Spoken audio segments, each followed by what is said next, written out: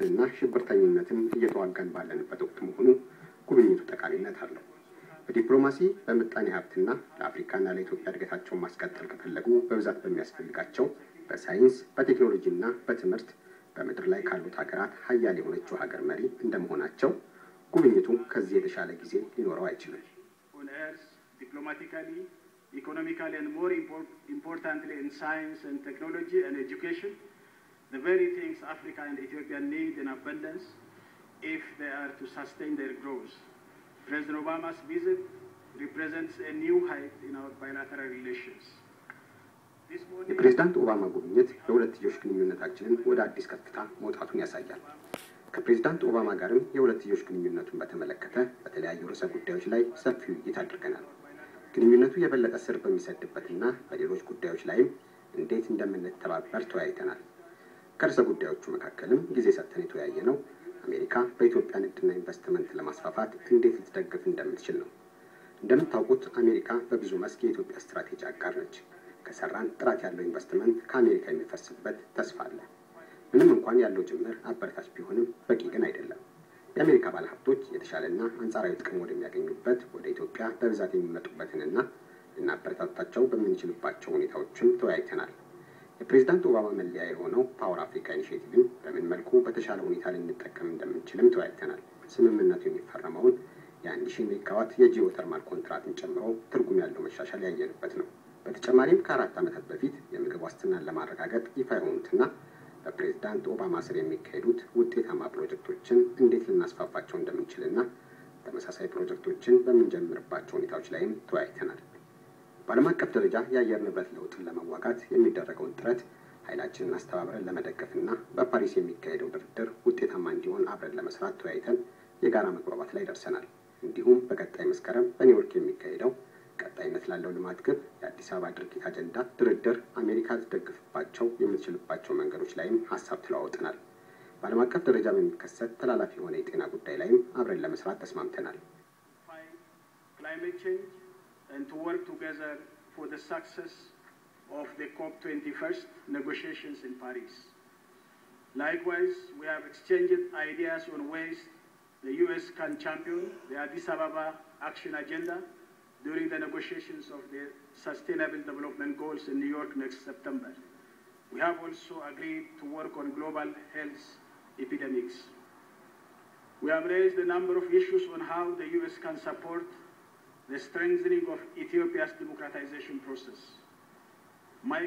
አሜሪካ የኢትዮጵያን የዲሞክራሲ ጉዞ በምትደግፍበትና ሂደቱን በምታጠናክርበት ጉዳዮች ላይም ተወያይተናል። ሰብአዊ መብትን በማስከበርና መልካም አስተዳደርን በማሻሻል በሀገሪቱ የተጀመረው የዲሞክራሲ ሂደት ስር እንዲሰድ መንግስት ያለውን ቁርጠኝነት ገልጿል። ለዲሞክራሲ የምናሳየው ቁርጠኝነት የይምሰል ሳይሆን የምር መሆኑን በድጋሚ ላስገነዝብ እፈልጋለሁ። ተቋማቶቻችንን ለማጠናከር ጥረት ማድረግ እንዳለብንና በተለያዩ መስኮች አቅማችንን መገንባት እንደሚገባን በሁለታችንም ዘንድ ግንዛቤ ተወስዷል። አሜሪካ እድሜ ጠገብ ዲሞክራሲ ያላት ሀገር እንደመሆኗ መጠን በዚህ ረገድ ሂደታችንን ለማጎልበት አስተዋጽኦ አላት። እዚህም እዚያም ጥቃቅን ልዩነቶች ቢኖረንም በዋናነት ዲሞክራሲያዊ ሂደታችን በሚፈጥንበት ሁኔታ ላይ የምንሰራቸውን ስራዎች ለማስቀጠል ተስማምተናል። በመጨረሻም በአካባቢው የጸጥታና የሰላም ግንባታ ዙሪያ በርካታ ጉዳዮችን አንስተን አሜሪካና እኛ ልንጫወታቸው የምንችላቸው ወሳኝ ሚናዎች ላይ ተነጋግረናል። በደቡብ ሱዳን ጉዳይም ተቀራርበን ለመስራትና ሰላምን ለማስፈን ተስማምተናል። በሶማሊያም መንግስታዊ ተቋማትን በመፍጠርና የሶማሊያ የጸጥታ ኃይልን በማጠናከር የሰላማቸው ጠባቂ እንዲሆኑ በማድረግ በሀገሪቱ ሰላም ለማስፈን ሁለታችንን ተስማምተናል። ከዚህም ባሻገር የሽብርተኝነት ዘመቻውን ለማጠናከር ተነጋግረናል። በአሜሪካ ድጋፍና በሌሎች አጋርነት አልሸባብን በመዋጋት ረገድ በሶማሊያ የአፍሪካ ህብረት የሰላም አስከባሪ ኃይልና የሶማሊያ ብሔራዊ ጦር ያሳዩት መሻሻልም አጥጋቢ መሆኑን ተረድተናል። የደህንነት ትብብራችንንም በሁለትዮሽና በአህጉር ደረጃ ለማጠናከር ተስማምተናል። ይህ ትብብርም የሽብርተኝነት ስጋትን ለመቀልበስ አስፈላጊና አጽንኦት ሊሰጠው የሚገባ መሆኑን ተረድተናል። በትናንትናው ዕለት በሞቃዲሾ የተፈጸመው የሽብርተኝነት ጥቃትም በዚህ ረገድ ብዙ መስራት እንደሚገባን የሚያስገነዝብ ነው። በመደምደሚያችን ላይም በሁሉም የትብብር መስካችን ለተሻለ ውጤት በጋራ ለመስራት ተስማምተናል። ሚስተር ፕሬዚዳንት፣ አሁን መድረኩን ደርሶ ለቃለሁ። Mr. President, I now call upon you to give your remarks. To the people of Ethiopia, uh, thank you for the warmth and enthusiasm of your welcome and the spirit of friendship that you've shown me uh, since I've been in Addis. ለመላው የኢትዮጵያ ሕዝብ ለተደረገልን ሞቅ ያለ አቀባበል ላመሰግን ወዳለሁ። አዲስ አበባ ከረገጥኩ ጀምሮ የተደረገልኝ ወዳጃዊ አቀባበል አስደስቶኛል። በስልጣን ላይ ያለ የመጀመሪያው የአሜሪካ ፕሬዚዳንት ሆኜ ኢትዮጵያን በመጎብኘቴም ኩራት ይሰማኛል። ይህ ጉብኝቴ አሜሪካ ከኢትዮጵያ ጋርም ይሁን ከአፍሪካ ጋር ያላት ግንኙነት ምን ያህል አስፈላጊ እንደሆነ ያሳያል። ኢትዮጵያና አሜሪካ የቆየ ግንኙነት አላቸው። የሁለቱ ሀገራት ህዝቦችም በንግድ አብረው ሲሰሩ ከአንድ መቶ ዓመታት በላይ ተቆጥሯል። የሁለቱ ሀገራት ግንኙነት ደግሞ በአሜሪካ በሚኖሩ ኢትዮጵያውያን ዜጎች እየበለጠ ተጠናክሯል። በተለይ ዋሽንግተን ዲሲ ከኢትዮጵያ ውጪ ኢትዮጵያውያን በብዛት የሚገኙበት ከተማ በመሆን ትታወቃለች። በታዳጊ የአፍሪካ መሪዎች ፕሮግራማችን ኢትዮጵያውያን ተማሪዎች አሜሪካ መጥተው እንዲማሩና በሚኖሩበት ማህበረሰብ ውስጥም ለውጥ እንዲያመጡ የሚያስችላቸውን አቅም እንዲያጎለብቱ ስናደርግ ቆይተናል።.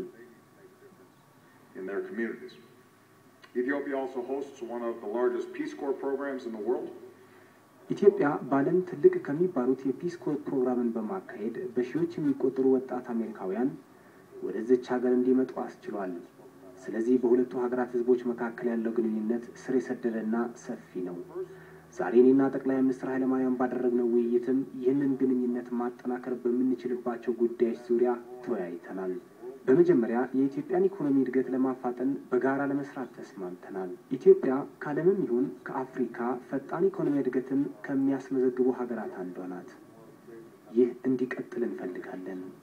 ምክንያቱም የሀገሪቱ እድገት ቀጠለ ማለት ለኢትዮጵያውያን የተሻሉ እድሎች ተፈጠሩ፣ ለሁለቱ ሀገራትም አዳዲስ የንግድ ግንኙነት በሮችም ተከፈቱ ማለት ነው።